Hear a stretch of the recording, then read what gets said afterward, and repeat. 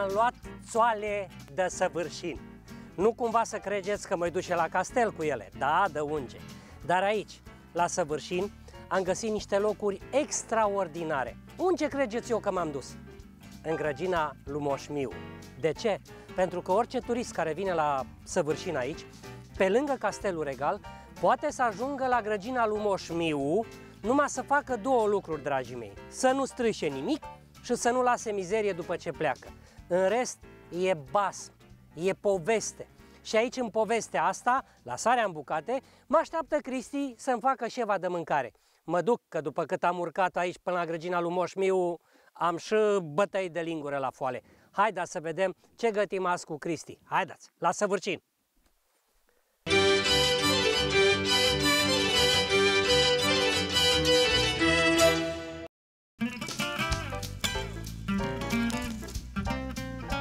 Hai, Dane, că arde foc un gol. Arde, arde, dar arde degeaba, pentru că la mine caloriile s ars cât am urcat aici sus spre geal. Da. Cristi, văd că te-ai apucat deja, nu mai mai așteptat. Mai bine da, ai făcut, focul arde și noi încă nu ne-am apucat cum trebuie de lucru. Dragilor, suntem aici în județul Arad și aici în această zonă de deal, la mâncarea de porc, de exemplu, sau orice mâncare care conține carne se cheamă tocăniță. Tocăniță. Tocăniță, da. A nu se confunda cu tocana de legume. Să ne înțelegem, pentru că la noi aici cea mai bună legume este porc. carnea de porc. Cristi, văd că ai... Ce fel de carne ai? Carne de porc, am, am o pulpă. Așa. Un ciolan. Așa. Și coastă de porc. Uh, și cu ce începem? Începem cu, tocatul. cu tocatul pulpei. Păi ai trebui să încep tu, că eu, da. dragii mei, degeaba aș începe eu, că încep degeaba, că nu pot așa. Deci o tăiem se cum? Se taie așa în cuburi. Văd că o tai pe, pe lung, fibră. Pe fibră, ca, pe să fibră. Nu, ca să nu se spargă când o punem în ceaun. De ce pulpă și nu altfel de, de carne? Păi, de exemplu, pul... ceafă. Dau un exemplu. Ceafa este prea moale și Așa. se sparge când, când fierbe mult. Așa. Deci- Cotletul deci... este prea sec și pulpa are, mai are niște fibre așa pe ea de grăsime care sunt numai bune pentru deci întotdeauna, dacă vrei să-ți rămână bucățile da. de, de carne, Vezi, trebuie să alegi și o carne cu textură da. mai, mai tare, cum e pulpa, de exemplu, da. pulpa care rămâne și sigur. grăsime și carne așa. Foarte interesant. Dar uh, ai spus că ai și ceva ciolan, ciolan și ceva coaste. Ciolan și coaste. De ce faci combinația asta? Pentru gelatină. Să uh, se leagă mai bine. Cu astea dă, osul dă o gelatină și uh, Ciolanul ciolan, la fel. Ciolanul la fel. Și are și partea de afumătură. Da, și dă și un gust deci, mai, dragilor, mai bun. pentru început, pulpă, coastă și ciolan afumat. Sunt cele trei elemente de bază pentru tocănița noastră de porc. Masa noastră, pe lângă multă carne, văd că are și multe legume, Cristi. Da. Ce folosești la tocana asta? La tocană folosim ceapă. Multă ceapă. Multă ceapă. Uh, ardei roșu, gras, ardei alb, gras, și morcov, morcovi, păstrănac da. și țelină. Dar mai este ceva, dragii mei, ciuperca. Da. Dar știți de ce avem atât de multe legume? Așa? Dă gustul mai bun și face sosul. Deci sosul fără legume multe nu se poate face. Numai prin adausul de făină, de greu sau... Și noi nu facem lucrul Nu ăsta. facem, nu. Deci noi facem doar din legume și Numai carne, legume. nu adăugăm nimic. Dar mai este o taină pe care te-aș ruga să ne-o spui. Uh, ordinea lor e importantă sau le punem așa cum ne vine nouă? Da, e importantă. Deci prima dată se pune ceapa așa. să se călească. Morcovul așa. și după care vine ardeiul pus. Și la ciupercile? Urmă. Ciupercile la urmă, după tot ce așa. fierbe cu tot cu carne la urmă. Alea se fierb mai repede, Alea nu? se fierb mai repede și se pun ultimele. Dar la legumele astea am văzut aici așa o chestie care pe mine mă pune pe gânduri. To be or not to be? A fi sau a nu fi? Țelină?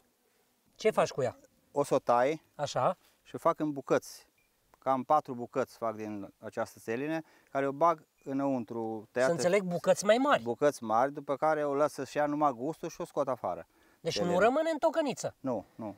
Dragilor, ați auzit? La noi, țelina, astăzi, aici, la Săvârșin, la tocănița noastră de porc, să știți că are țelină și n-are țelină. Pentru că nu toată lumea îi place gustul când o simte, o simte în, tocăniță. în tocăniță. Și atunci numai gustul și... Îi rămâne savoarea acolo. Rămâne, da. A, miroase deja, Cristi. Miroase a untură încinsă. Untură, deci untură ai folosit, da? Da, uitați, se poate băga. Asta e proba? Da, când Dragii sfârâie mei, așa ați tare, văzut ce probă?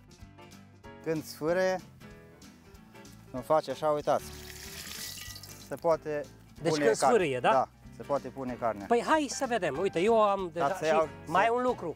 să-mi Uh, iau nu știu dacă lingura ați observat, dragii mei, dar la specială. săvârșin, la săvârșin cresc lingurile de lemn în pom. și ulcelele tot în pom îs, și polonicele în pom.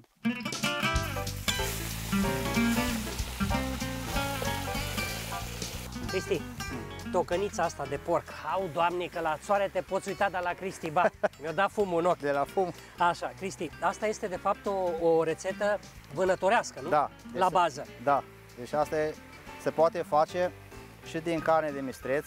Așa. Normal așa e rețeta, de la mistreț. E... Dar noi astăzi nu folosim vânat, nu? Nu, că nu am avut. Am avut în zona aici, la noi a fost pestă. Așa. Ei nu prea mai sunt mistreți acum. Și am făcut Se cu face carne de cu porc, carne nu? de porc. Așa. Dar din carnea de vânat, care ar fi cea mai bună pentru Deci, pentru tocănița asta? tocăniță, cea mai bună e carne de căprior. Carnea de căprior. Da. De ce? Are o savoare și o dulceață mai, mai, mai plăcută Așa. față de carne de porc. Dar Mistrețul, nu trebuie să fiarbă mai mult aia. ba da, deci fierbe și mai mult, dar are un gust mai bun.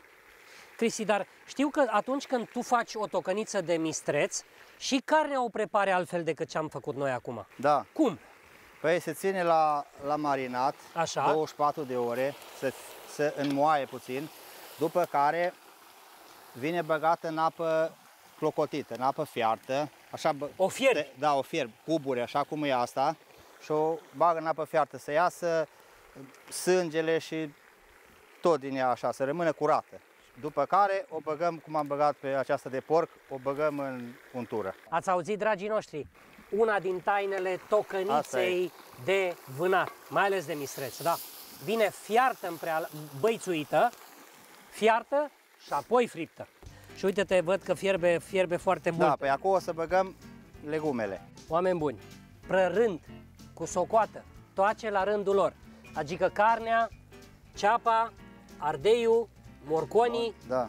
și când uh, s-o S-au lăsat o călit, țără, o lăsat un pic uh, zeamă, s-au călit, trebuie să punem apă. A, abia acum Da, punem apă, da. da. Și după ce punem apă, ia uitați-vă la liuța aici, așa are în mână. Sare, piper, așa, acum. Ai făcut un mix da, acolo aici de de oregano și busuioc. oregano și busuioc.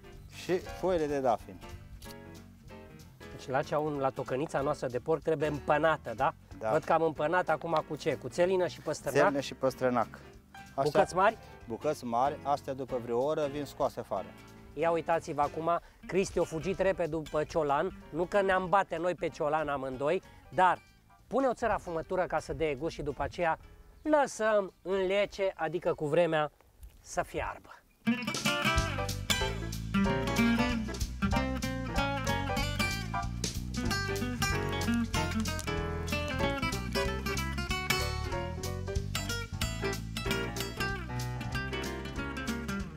O trecut deja un ceas, dragii noștri, și am pus ciupercile, adică bureții, cum zicem noi, da?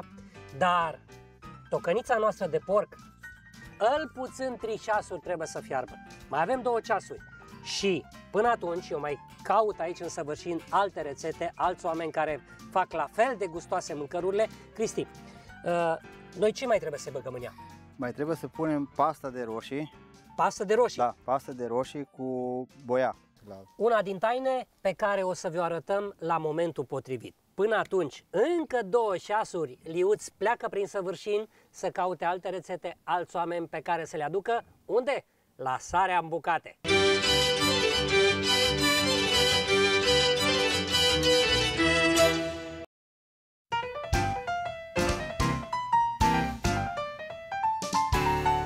Am venit la Săvârșin, dar nu o să vă duc la Castelul Regal cum ați crezut.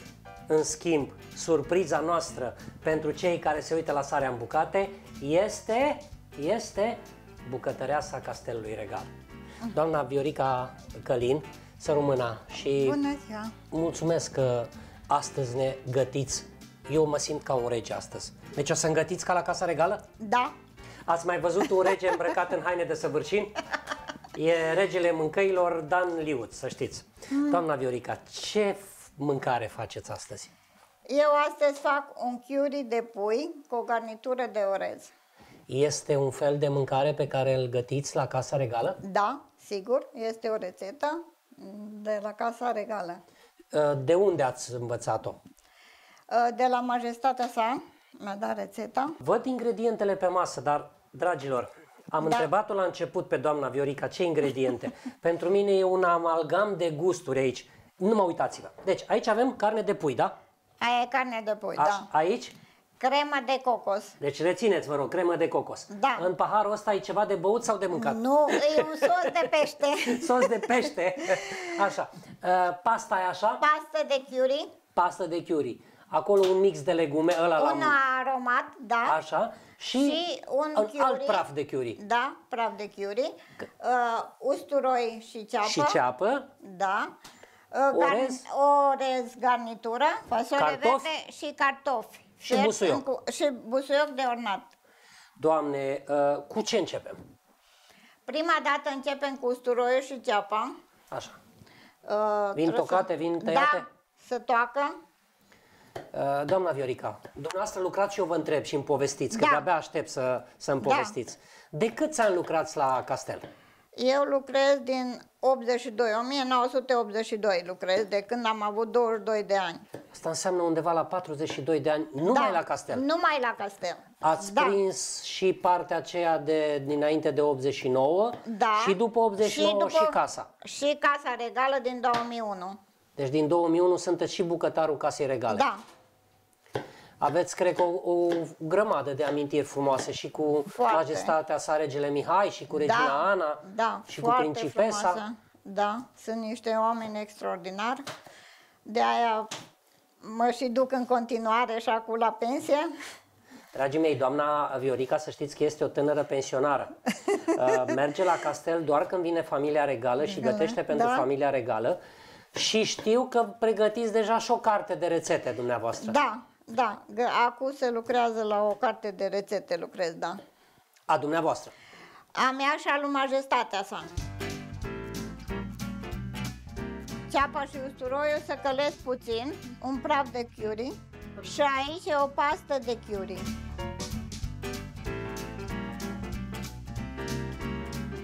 Punem și cremă de cocos. Da? E dulce crema asta de cocos sau... Nu, nu. nu-i, nu-i dulce, nu. nu. Folosim crema de cocos în locul de smântână pentru că nu este așa grasă. Sosul de pește, Sosul de pește e puțin. o lingură, O lingură numai. da, o lingură de sos de pește. Iar aici carnea de pui cât? E piept, Uh, de piept de este pui. Piept de pui este 250 de grame. 250 de grame de Da. piept de pui. Am înțeles. Acum, ăsta se trage în tigaie după ce... Da, ăsta să pune în sosul ăla să fiarbă. Doamna Viorica, și ăsta ce fel de mâncare este? Este un fel principal? Se poate mânca la amiaz? Da, este un fel principal care se mănâncă la prânz.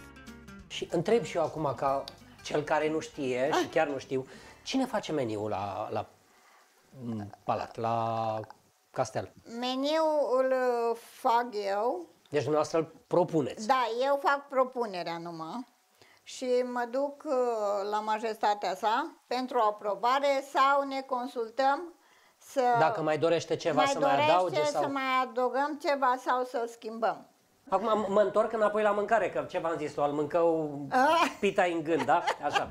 Am văzut aici fasole verde și cartofi. Ce facem cu ele? Uh, o să le punem în sosul de curry cu pui. Dar ele sunt fierte în prealabil, nu? Da, prima dată se ferbe și fasolea și cartofii separat Așa. și pe urmă să pun în sosul de curry cu pui. Că ele sunt gata fierte, Da. doar să se omogenizeze și să... Da, Foarte interesant, doamnă Viorica. De-abia aștept să mănânc și mă serviți așa ca la familia ca regală. la familia regală, da. Deci, în sfârșit, în cuina de la Săvârșin, uh, Liuț îmbrăcat în țoale de Săvârșin, mănâncă regește. Ori lămâia asta e necoaptă, ori se cheamă altfel. Și eu cred că noi bănețenii zicem limete. Am Limete. glumit. Ce facem acum? Punem și limete? Da, o să punem acolo în sos, o să tai felii și feliile astea se pun uh, deasupra lui sosul de cocos. Doamna Viorica, familia regală este atentă la ce mănâncă? Da. Adică principii nutriționiste, Uh, nu multă da. grăsime, A, nu... nu? Nu, nu preferă grăsimea. Ce fel de carne? Uh, carne de pui, Da.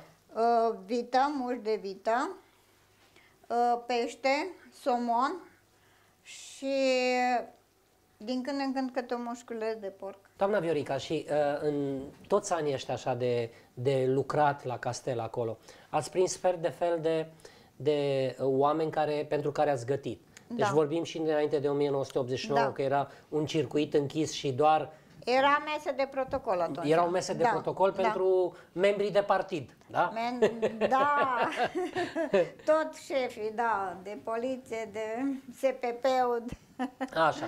Și după 89, uh, castelul a trecut în Rea PPS. până când l-a primit înapoi familia regală, nu? Familia regală l-a primit în 2001, la 1 iunie. La și de săvârșit. atunci sunteți, ați rămas singura din tot personalul Da, am rămas singura din tot personalul care a fost la castel, da. Ia Au povestiți-mi, cum venea Regina la dumneavoastră în fost- bucătărie? A, veni, venea la mine în bucătărie și zicea, eu stau aici cu tine, dar să mă înveți pe mine românește, că de aia stau aici în bucătărie. Deci, Regina Ana a învățat Da. românește în bucătărie. Da, Eu... eu, am învățat să mănânc în bucătărie, e o diferență.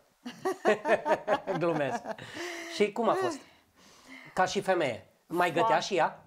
Da, îi plătea să vină, mai ales de Crăciun, să mă ajute la fel și fel de sosuri. îi Și plăcea la mâncarea tradițională, regele Mihai, ce, ce îi plăcea mai mult lui regele Mihai? uh, sarmalele. Sarmalele, român da, adevărat. ro- da, îi mai duceam și de acasă cârnați, că tăiam porcul, așa cât o bucățică, Cât o bucățică. numai de gust. Și salata de biof. Îi plăcea. Da. Doamna Viorica, dar eu am auzit că principesa Margareta gătește și dumneai. Da, Gătește. gătește. Da. Îi place să gătească. Îi place foarte mult să gătească, da, mai ales în weekend uh, gătește, da. Dar uh, dumneavoastră, ca și bucătăreasa Casei Regale, n-ați gătit numai la, la castel. Unde au mers, v-au luat cu dumnealor, nu? Uh. Da, am fost și am gătit, uh, am fost la București, am fost la Sinaia, la Curtea de Argeș, am fost... Am Ați fost și în cu trenul tren- regal. Am În trenul fost regal. Cu trenul regal, da. da. Dar uh, eu știu că atunci când uh, gătești pentru persoane așa de importante, uh, te controlează dacă bași ceva în mâncare? A, nu, depinde de cine este la masă. Aha, deci depinde de cine este. Da, Și s-a întâmplat să, să stea, de exemplu, SPP-ul sau alte da, persoane să gătiți în fața lor? da, am gătit de multe ori. De multe ori în fața SPP-ului. Că, uh, depinde cine era la masă, nu? Da, da, depinde, da. Și uh, mai îi luau și probe din mâncare? Da. Să știți că eu mă sacrific. Eu nu las, eu mănânc eu. Nu mai trebuie să chem pe altul să guste mâncarea.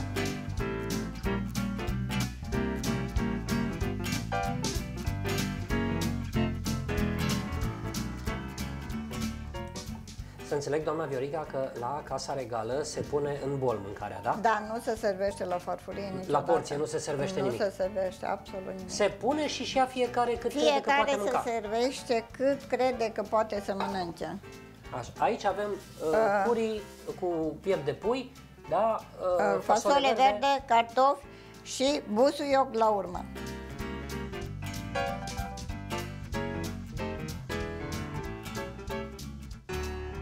Doamne, ce mâncare bună a făcut doamna Viorica și vreau să-i mulțumesc pentru că m-a primit astăzi nu în Castelul Regal, ci mi-a gătit regește, cum face de aproape 40 de ani sunteți în Da, bucătărie, da, da? da. Și vreau să vă faceți un, un exercițiu de imaginație. O masă mare, plină de oaspeți, uh, un protocol zero, ca așa se zice, știți, protocol zero, Ah. și când încolo apare la masă Liuț, care scoate o lingură de lemn ca paurile, că nu se putea așa. Vă rog eu ceva, dacă cumva la castel Da. rămâne liber postul ăla pentru ăla care gustă mâncarea, vă rog, puneți-mă o pilă la majestatea sa, că eu aș mânca orice, nu, Da. aș gusta orice numai să mănânc.